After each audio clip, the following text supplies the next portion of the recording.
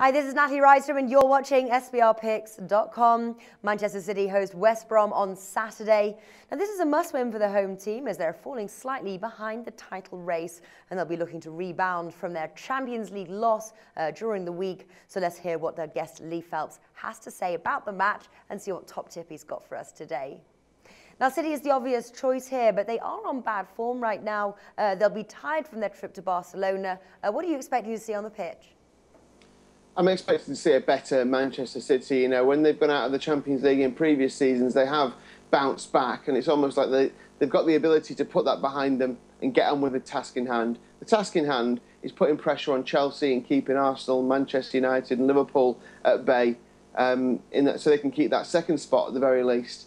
Um, I expect a better Manchester City here, and I know they were poor at Burnley, but you know they, they were away from home you know, I think at home it's a different kettle of fish. This, you know, this is Manchester City at the Etihad. Yeah. West Brom don't go away and try and win games under Tony Pulis. It's as simple as that. That's not what he does, and there's mm-hmm. no way they're going to go away and try and beat Manchester City.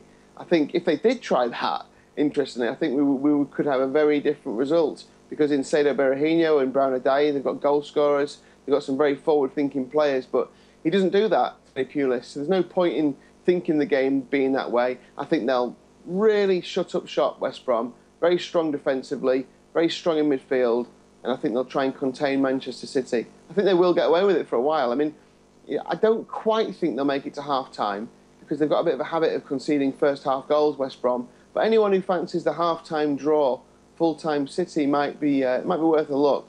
I think they might might score before half time though.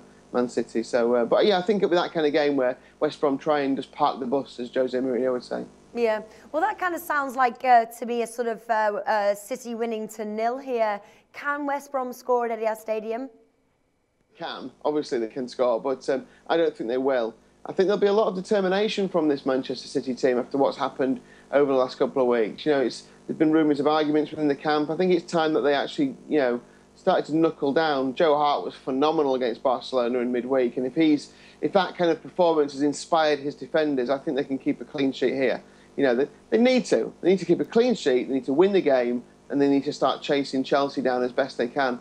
Um, I agree with you, by the way. I think I think the will to win to nil is the way to go. And, maybe maybe people would argue that you're putting too much trust in this City defence, but I think it's about time they stood up now. Yeah, uh, well, clean sheet there, uh, 2.15 uh, looking at the three-way line. Manchester City price 1.33, uh, the draw 5.5, and West Brom uh, 10.5 there. Uh, so very low, very low odds for the City win. You can use that win as an accumulator bet. but what's your prediction for the match, Lee? Yeah, I mean, I, I like I like City to win to nil. I think that's a, it's a fair bet. You know, I think they'll get the job done. Um, I also like City to win under 2.5 goals. I think it could be that kind of game where it's, it's tight, but City eventually break them down. Uh, but I'll stick with the City to win to nil at uh, 2.15. Yeah, that's my bet as well, Lee. Lee, thanks for joining us. Pleasure.